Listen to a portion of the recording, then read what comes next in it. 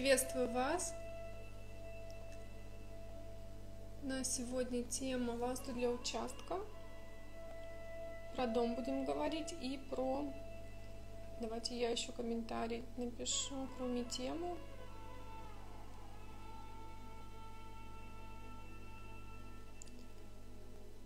Дом. Дом и растения на участке.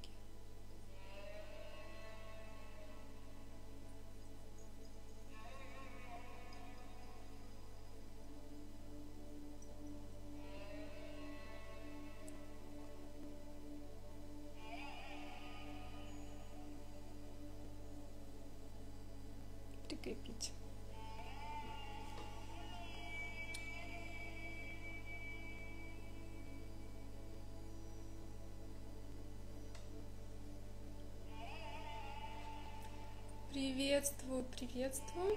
Кто присоединяется, у нас эфир по э, васту для участка. Небольшой эфир проведу. Сейчас потише немножко сделаю. Тема, э, вы задавали вопрос по расположению дома на участке. И по э, растениям я решила добавить, рассказать, как лучше располагать растения на участке. Если вам тема интересна, оставайтесь. Э, добрый вечер, пишите ваши вопросы, напишите, есть ли у вас участок, вы планируете строить дом или уже живете на нем, а может быть у вас есть дачный участок, где вы проводите время летом, а, или мечтаете о нем, да, и я предлагаю вам э, немножечко узнать э, законы ВАСТу для того, э, чтобы правильно планировать участок согласно ведической архитектуре, правильно планировать расположение объектов на участке, чтобы участок был гармоничный, и на нем работали энергии гармонично, создавали правильные вибрации да, для жизни, поскольку с любым пространством, с которым мы связаны, это пространство нас питает теми или иными энергиями, дает нам определенную реализацию нашей жизни. Приветствую, приветствую. Присоединяйтесь. Рада вас видеть. У нас тема а, расположение дома на участке и растения. Немножко поговорим про растения, потому что часто спрашивают. Если у вас есть вопросы по вашему участку, может быть, э, есть так, такие да, вопросы, то, пожалуйста, пишите, мы их разберем. И девушки прислали мне до этого несколько вопросов. Скажите, напишите, пожалуйста, меня хорошо слышно, не мешает ли вам музыка, например, и э, как звук вообще, потому что иногда вот э, с VPN, конечно, звук немножко слабый становится.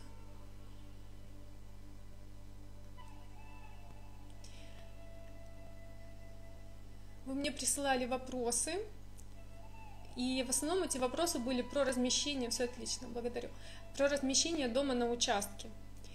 А, и это один из главных моментов, да, когда у нас есть участок, нам а, самое важное расположить дом на участке. И в предыдущих эфирах, у нас было два эфира по участкам, если эта тема вам актуальна, вы можете посмотреть их а, в сохраненных эфирах на моей странице или же на, на YouTube-канале, я туда тоже сохраняю свои эфиры. И мы там разбирали о том, что самый главный сектор где необходимо расположить дом, это юго-западный сектор или юго-западное направление на нашем участке. Да? Нужно найти это направление и постараться как можно ближе э, к нему, к этой оси, расположить дом. И э, здесь у нас живет первый элемент. Давайте буду рассказывать так, как будто э, э, вы никогда не слышали да, про какие-то законы Валсту, для того, чтобы, если вы новичок, то вам было бы все понятно.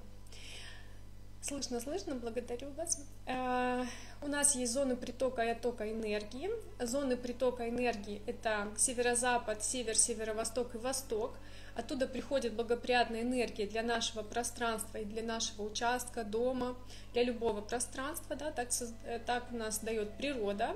И эта энергия, она наполняет нас э, энергия нашей жизни, да, дает нам энергию для реализации различных сферах. Но при этом эта энергия питающая, она может э, уходить, то, то есть она идет по направлению севера на юг и с востока на запад.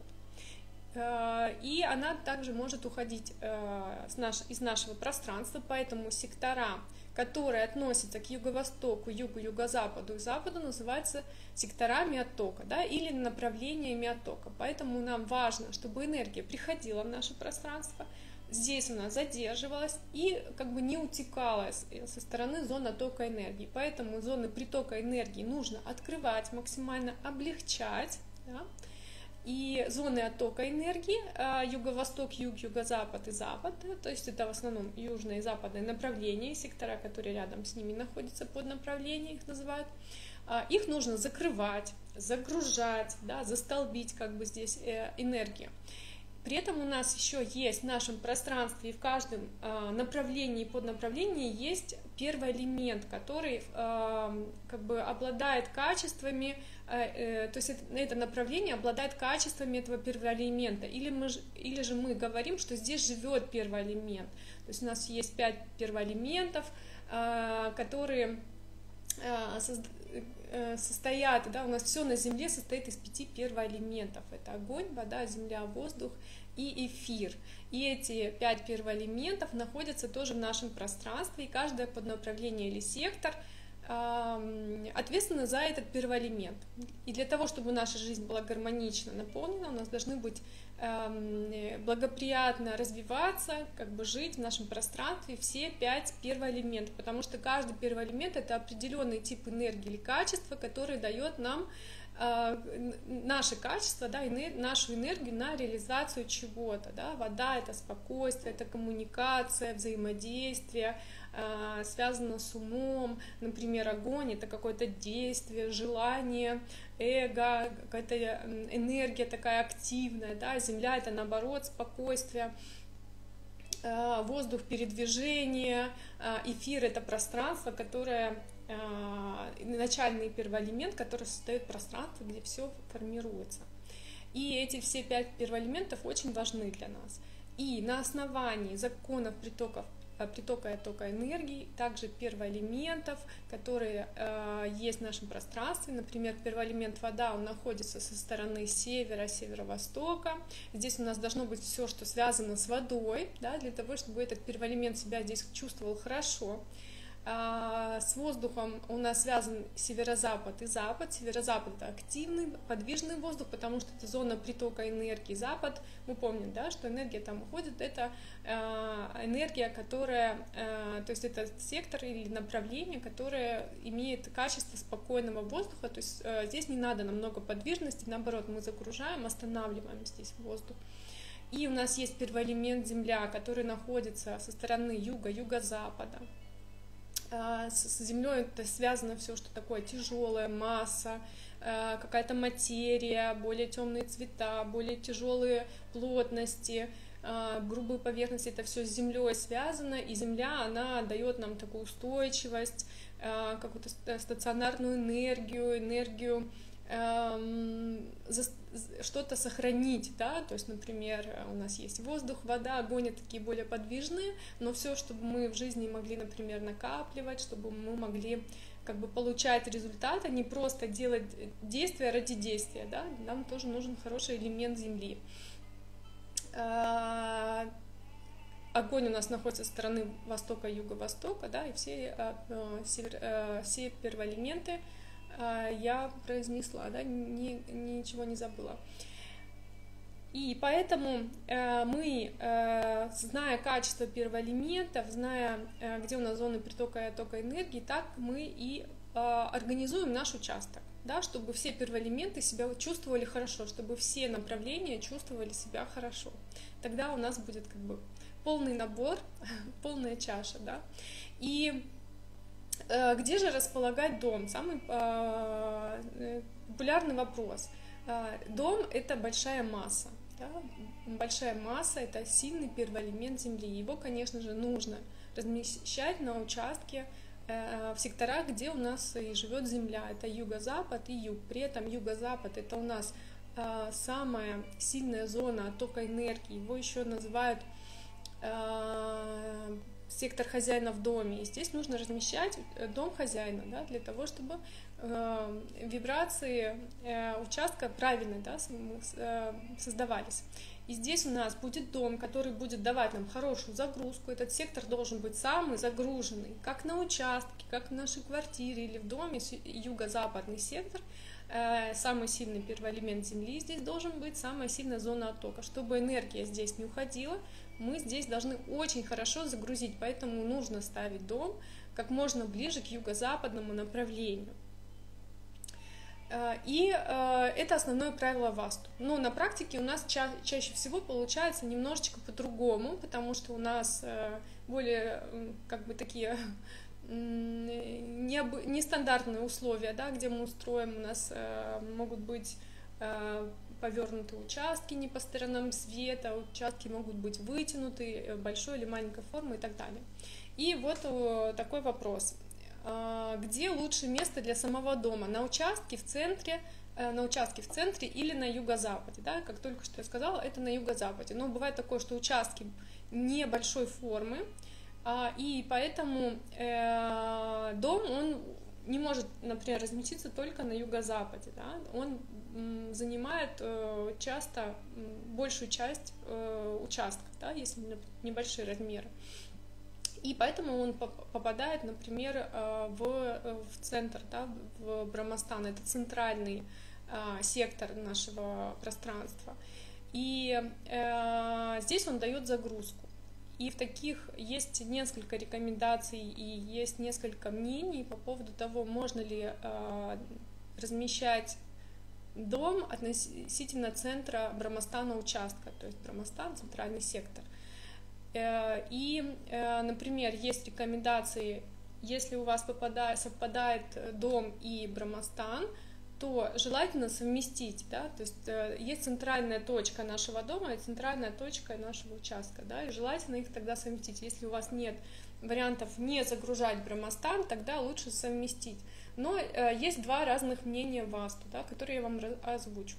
Кто-то говорит, ну, делайте совмещение, а другие, э, другое мнение, э, делайте совмещение, но при этом у вас должны быть эм, дом построен по яде расчетам. А яде расчеты это такие, э, это есть система эм, планирования, проектирования дома, да, это когда высчитывается размерность специально под вас, под ваши индивидуальные данные, там берется дата рождения, ну, в общем, астрология, и по ней высчитывается специальные размеры, например, длина и ширина дома, да, это, это называется яди расчеты. Когда делают такие яди расчеты, то эм, э, этот дом, он находится в вибрациях с вами, потому что он рассчитан под вас, он не просто взял э, в, в размерностях, там, например, 5 на 5, да, из ума, а он э, высчитан индивидуально под ваши э, вибрации, и сейчас мысль была...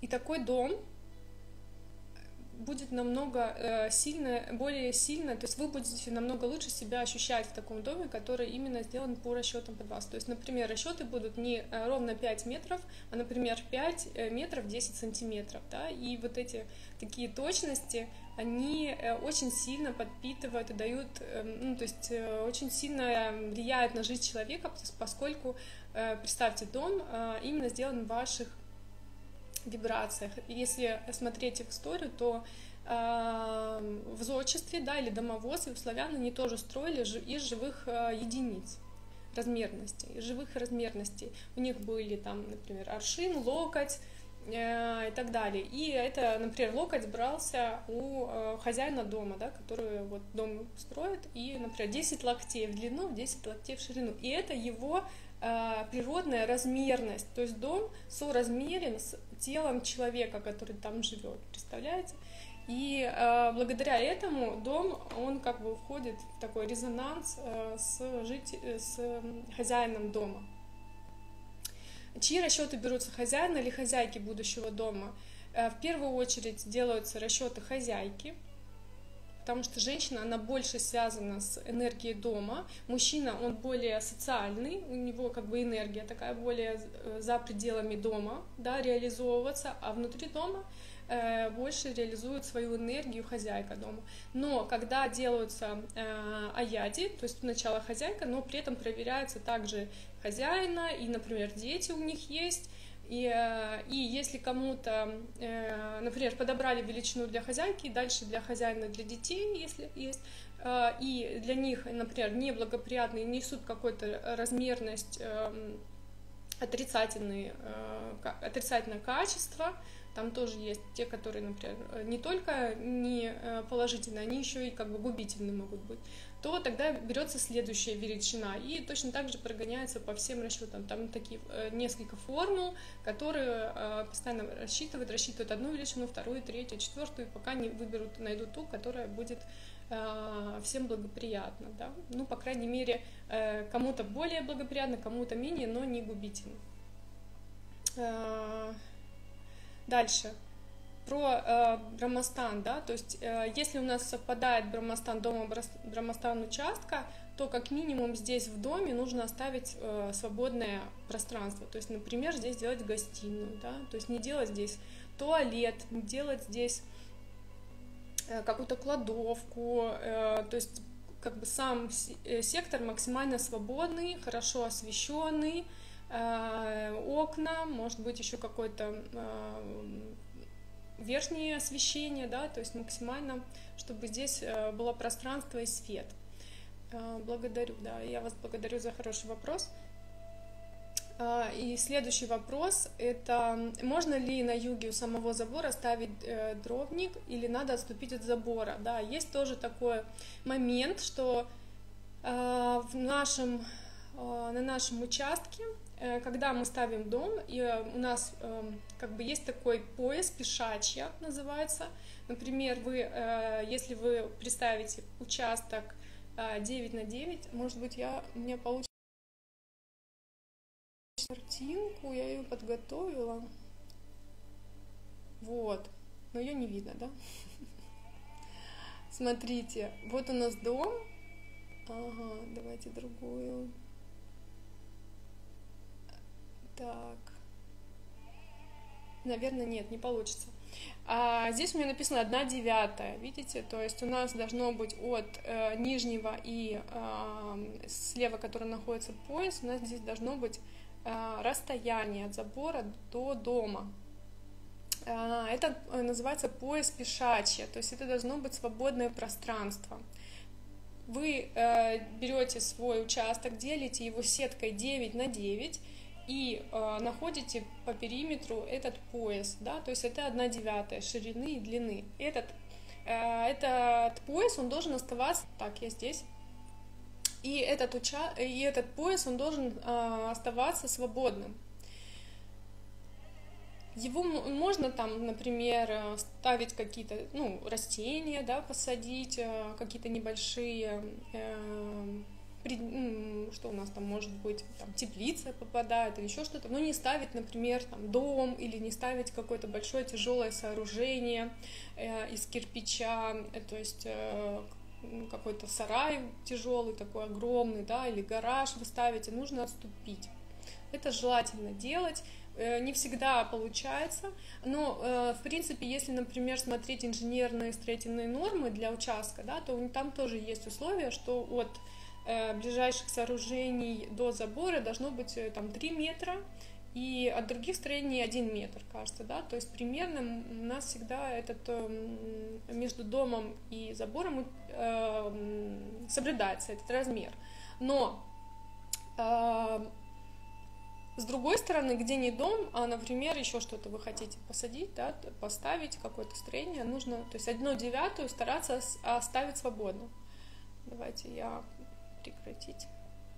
Для чего это нужно? Для того, чтобы энергия свободно могла перемещаться по нашему пространству. Она у нас постоянно движется, э, взаимодействует один сектор с другим, первоэлемент один с другим, э, взаимодействует, как бы течет энергия э, по спирали, по часовой стрелке благоприятная энергия, и этот пояс именно для того, чтобы энергия двигалась на участке. Можно ли строить теплицу на западе рядом с домом? Э, да, до теплицы дойдем. Э, в принципе, можно, но нужно смотреть, что у вас с западным сектором, да, и какую теплицу вы будете делать.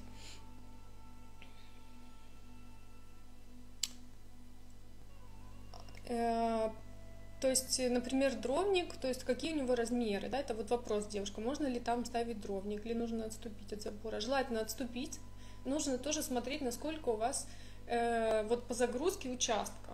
То есть, например, там небольшой дровник для вашего большого участка, может быть, он не будет, да, с, э, с, если с, э, как бы смотреть соразмерность э, в пропорциях, да, то есть нужно тоже здесь чувствовать Э, есть правила ВАСТу, но мы тоже всегда смотрим на практике. Э, если у вас небольшой участок и огромный дровник, да, то как бы не стоит здесь загружать, поскольку вы загрузите этот пояс и э, как бы тяжелее станет энергии продвигаться по участку. Надеюсь, я ответила на вопрос, то есть вам понятно. А еще вопрос, где и как поставить дом на участке ориентир северо-восток, юго-запад неправильной формы, участок неправильной формы, и он, скорее всего, вытянут, да, ориентир северо-восток, юго-запад. А, как бы мы и размещаем а, участок как можно ближе к юго-западу. А, также мы захватываем благоприятно южные направления, западные направления, юго-восточные тоже, может быть, если у вас какая-то часть дома, например, попадает. Да? То есть все зоны оттока благоприятно загрузить. При этом самое загруженное это юг, потом э, юг и запад, да, и немного юго-восток тоже хорошо загрузить. Угу. Так, сосед... вот еще вопрос. Э, добрый день. Жду эфир. Соседство кладбище за 2,6 километров. Ну, э, да, то, что у нас находится за пределами нашего участка, э, какие-то объекты, э, у нас есть там э, понижение, повышение грунта, э, река, любые объекты, э, в зависимости тоже от их размера, они э, влияют на нас, то есть имеют более сильное или более слабое влияние на наш участок. Э, вот, например, кладбище или какие-то неблагоприятные, это нужно брать участок, чтобы как минимум один километр был, да, то, что говорит ВАСТу. 2,6 километров это уже как бы уже меньше влияния. Нужно смотреть еще между этими объектами есть какие-то строения, да, то есть или просто поле, допустим, да, поле это уже свободная энергия движется. Если у вас там ряд домов, если еще какие-то высотки, допустим, есть, то есть высокие дома, да, то есть какая-то масса, тяжелая масса, Земля — это вообще поглотитель негативной энергии, да, то есть э, э, если у вас, например, между неблагоприятным объектом, между вами свободное пространство, то нужно загрузить, э, чтобы Земля, первый элемент Земли, поглотил негативную энергию. То есть сделать какой-то тяжелый забор с этой стороны, да, из камня, из кирпича. Чем более массивный он, тем лучше. А, использовать металлы. Металл тоже у него очень высокая плотность, очень сильное а, проявление первого элемента земля.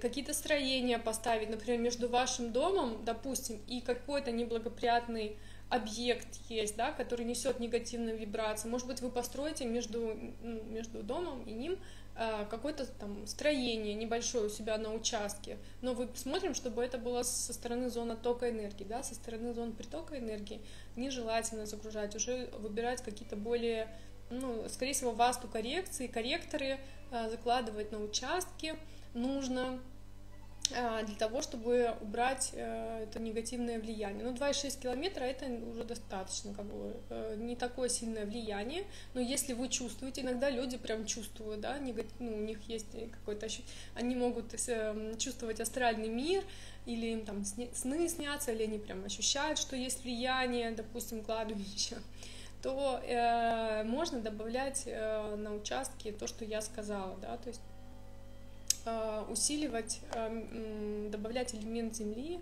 э, между домом и вот кладбищем в данном случае, если это со стороны зон притока, оттока энергии. То есть отток энергии — это юг, юго-восток, юго-запад и запад. Мы там загружаем, добавляем первый элемент земли, то есть строение, камень, кирпич и так далее. что-то тяжелое, да, что-то из таких тяжелых материалов. А, если со стороны зон притока энергии, то а, корректируем уже с помощью васту-корректора. Вот. Также можно высадить, например, посадку деревьев сделать, да, или же посадить э, сосны. Да, они тоже э, как бы пирамидальной формы, какие-то растения, они отсекают негативную энергию.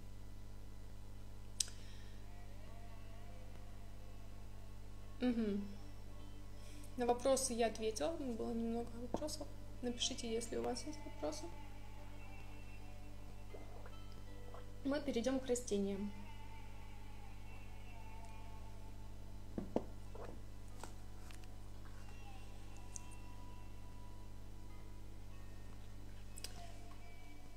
Угу. Так, э, растения на участке тоже часто задают вопрос, э, где размещать лучше огород, да, где размещать теплицу на участке.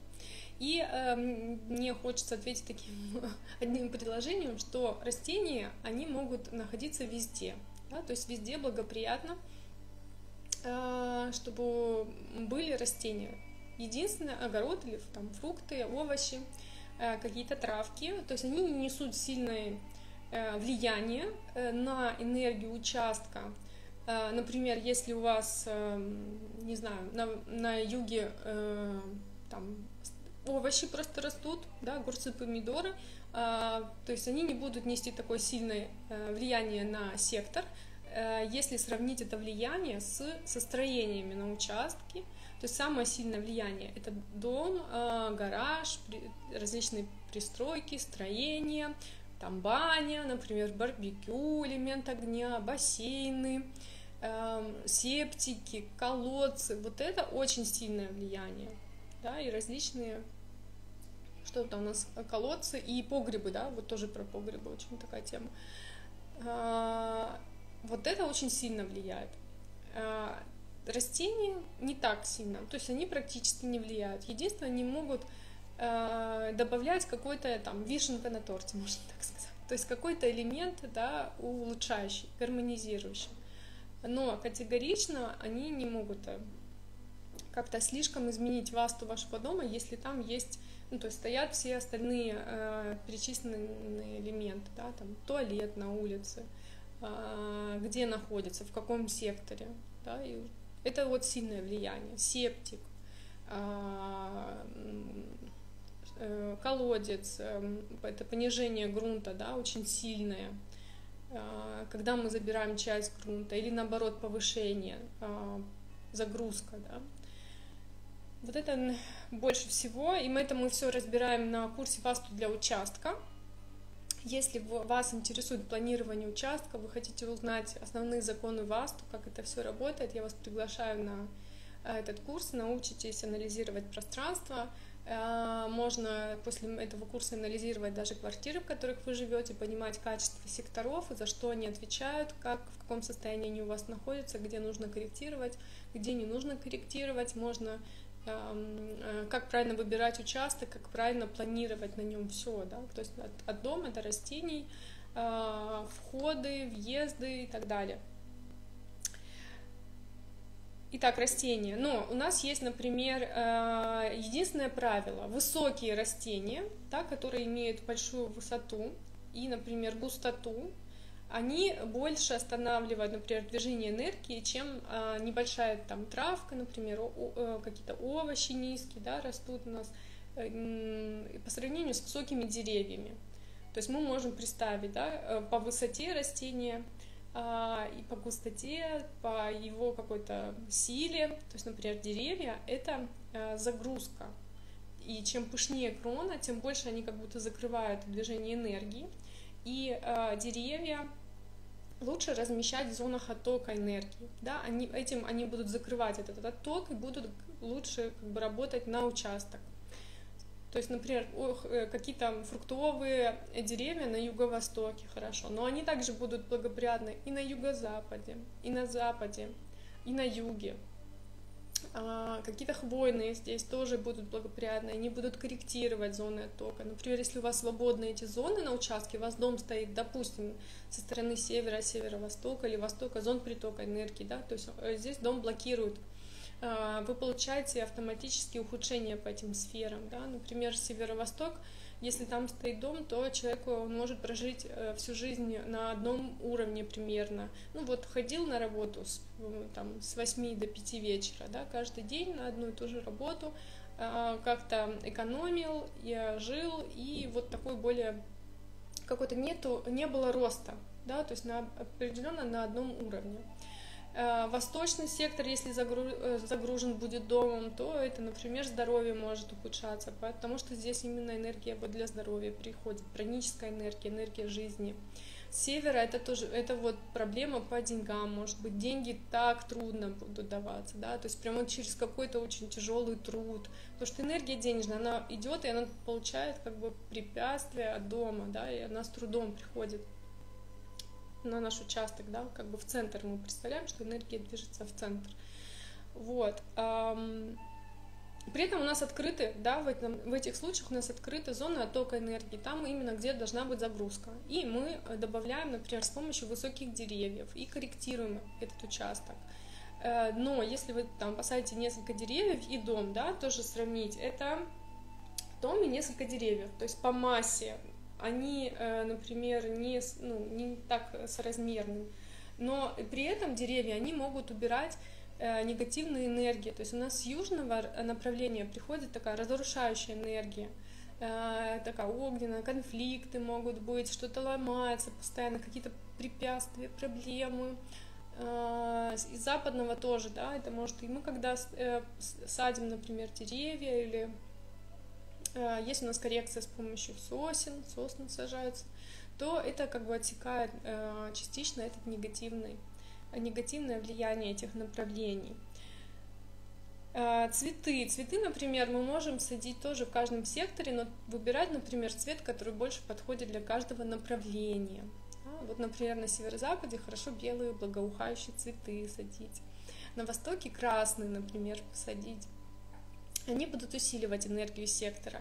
На юго-востоке тоже могут быть цветы, да, здесь у нас вообще сектор Венеры, э, какие-то благоухающие цветы, можно здесь, можно здесь какие-то разноцветия, какие-то клумбы красивые составить, композиции. При этом э, клумбы, например, можно э, создавать форму, подбирать клумбы, отделку, да, где-то можно камень, камнем, где-то можно не делать да, какую-то тяжесть, это тоже зависимость от сектора. Да, и это мы подробно разбираем на курсе, потому что у каждого сектора есть свой цвет, свой э, материал, который больше всего подходит да, для первоэлемента, э, который здесь э, руководит всем. Э, форма, э, рисунок, то есть это все является проявлением энергии, да, тип энергии тот или иной. И вот, например, цветы вы посадили в этом секторе, у вас э, более благоприятно будет какая-то круглая клумба, да, например, на северо-западе, на севере, северо-востоке. Квадратные клумбы лучше выбирать в зонах оттока энергии, поскольку квадрат — это первоэлемент Земля, да, нам нужна здесь Земля в зонах оттока энергии. Это тоже одна из э, форм коррекции.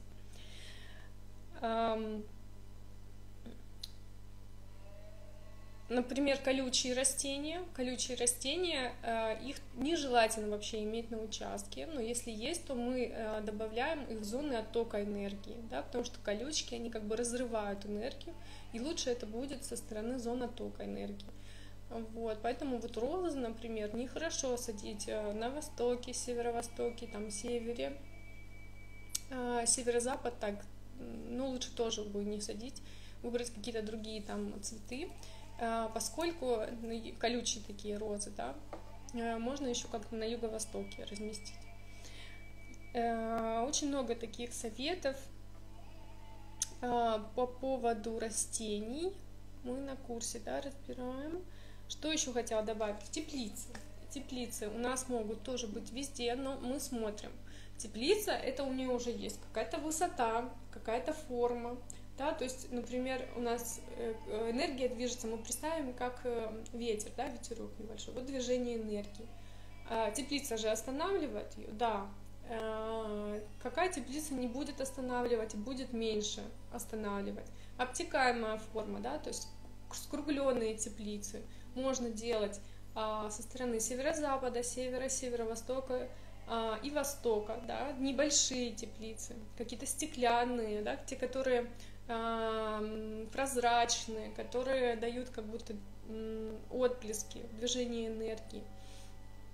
Если э, вам нужно, ну лучше, например, на северо-востоке оставить просто пустое пространство, не ставить там теплицу потому что это самый свободный сектор. Он противоположный юго-западному сектору. Юго-западный должен быть самый тяжелый, северо-восток самый свободный сектор. Поэтому, э, если у вас, например, выбор между северо-востоком или э, севером или востоком, да, то лучше э, северо-восток оставить свободным. Э, например, если у вас теплица, у вас свободные зоны оттока энергии, это запад, юго-запад, юг, юго-восток, вам нужно здесь поставить, э, то есть у вас здесь нет дома, нет никаких строений, вы можете с помощью теплицы скорректировать это, эти зоны, поставить какую-то э, квадратную э, теплицу, да, какая-то пирамидальная форма у нее, пирамидальная форма у нас корректирует зоны оттока энергии, и сделать ее из какого-то более плотного материала, на больших форм, да, матовой поверхности, то есть обить ее каким-то не стеклянным какой-то матовой э, такой поверхностью, материалом, э, и сделать именно пирамидальную форму, это важно, это будет корректировать, э, уже улучшать энергию сектора. Пишите, если у вас есть вопросы.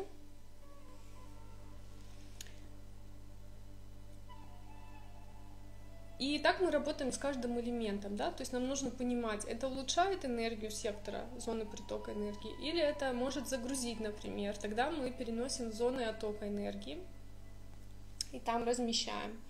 А, например, по растениям еще что благоприятно.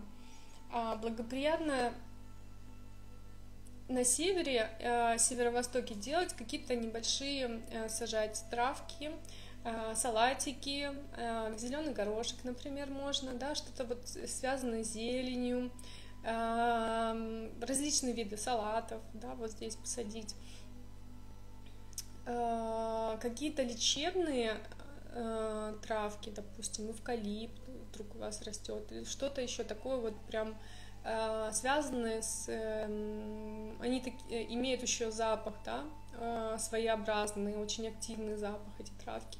Э, на запад благоприятно разместить. Эм, что еще? По деревьям еще добавлю. Если у вас есть, например, высокие деревья э, на участке, обратите внимание, неблагоприятно, если они э, дают тень на дом, да, если у нас рядом дерево, лучше такое спиливать.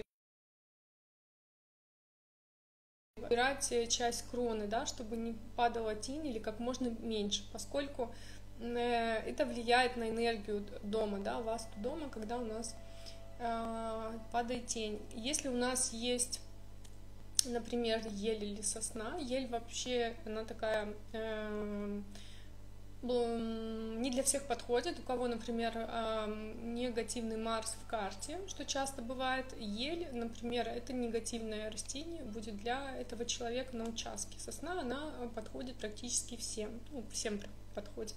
Но при этом, если у нас, например, а, на участке есть сосна, а, то есть или ель, и у нас есть дом, да, у него есть крыша, я об этом как-то писала в сторис, и есть конек, да, самая верхняя точка, и растет это э, дерево, сосна, и если она перерастает конек дома, выше становится, то э, такое очень часто бывает, и вы писали, э, даже вот мы общались в сторис, и мне писали женщины, да, одна женщина точно написала, вторая, да, две женщины написали, а, что у них так и случилось, что хозяин дома, а, он как бы уходит из этой жизни, умирает, когда перерастает сосна а, конек этого дома. Поэтому нужно спиливать, нужно следить за этим. За этим это такой очень распространенный момент. Одна женщина написала, что да, у них так и было, вторая написала, что они, они посадили и, ну, как бы они жили и так случилось. Другая написала, что они не садили, они купили уже участок с такими соснами, и у них тоже случилось, э, муж умер, когда вот сосны выросли. Сосна выросла конька, выше конька. Вот такие моменты. Также высокие растения да, с большой кроной, если у вас есть со стороны зон притока энергии или за, за пределами вашего участка, тоже лучше или не сажать, да, или же если есть, то как-то опиливать, убирать широкую крону, со стороны, например, северо-востока, востока, севера, такие деревья, они будут ухудшать вашу жизнь на этом участке. Да? Лучше там спилить, ну, конечно, дерево спиливать не самое благоприятное дело. Кстати, нужно, знаете, что нужно общаться с такими, ну, например, дерево вы хотите спилить, нужно к нему обратиться, попросить прощения, поблагодарить его за что-то, да, то есть нужно взаимодействовать с растениями, особенно с деревьями, у них тоже есть э, своя душа, можно так сказать. Ну, не такая, как у нас, там другая уровень, точка сознания, уровень сознания, но тоже есть э, своя энергия Творца. И э, перед спиливанием, да, нужно обратиться к этому дереву и попросить у него прощения, сказать, что для чего, чтобы это будет благоприятно, то есть вы не, не нанесете там, такой вред. А, и еще а, еще очень интересный момент. А, вот у меня Елена была в начале по травмам. Мы проводили, если вы здесь, дайте знать. Мы проводили совместный эфир про э, травы, лечение травами. Э, очень интересный эфир был. И э, Елена поделилась со мной о том, что на участке очень часто растут травы, те, которые необходимы для Э, здоровья э, хозяина участка, хозяев, да, те, кто живут на участке. Точно так же я слышала такую же информацию про э, овощи и фрукты, то есть то все, что дает участок, он находится как бы в совибрациях с, э, будем говорить, хозяином участка. Ну, мы имеем в виду всех, да, кто проживает. Э, то есть и, это, и природа дает ему определенные фрукты, овощи, то есть закладывает уже определенные элементы в растения, да, в, в урожай, те, которые нужны э, хозяину, хозяину участка, хозяину дома для его здоровья. Э, мы тоже это обсуждали с папой, и э, и по травам тоже, да, и будут расти э, те травы, которые нужны для хозяина, и можно вот Елена говорила, что можно даже отследить, что какая-то трава, она, например, от определенной болезни помогает, и она говорит, я могу даже прочитать, что, например, на участке растет, допустим, подорожник, а он там, а, если его употреблять, точно не помню, допустим, для пищеварения, да, он хорошо лечит там что-то, то э, будет понятно, что у хозяина э, этого участка есть проблемы. Представляете, вот сама трава, да, дик, дик, дико они э, вот так вот появляются на участке. Поэтому нужно тоже смотреть, что э, природа нам дает именно то, что нам нужно. И, например, будет очень хороший урожай какого-то определенного э, каких-то фруктов или овощей, э, которые э, именно на сегодня нужны хозяину. Они будут иметь именно ту структуру, как бы у них уже закладывается энергия э, для здоровья э, хозяина участка. Это очень интересный момент. Э, то есть вы можете даже что-то выращивая, обращаться к своим растениям, овощам, фруктам, деревьям э, и просить у них, например, чтобы они дали вам те плоды, которые дадут вам здоровье, например, какую-то, может быть, болезнь победить и так далее. Поскольку природа очень живая, э, э, живая и очень эм, разум, да, у нее определенный есть сознание, и она все дает для нас, да, для того, дает все, что нам нужно. Так вот. И участок это очень хорошо, конечно же.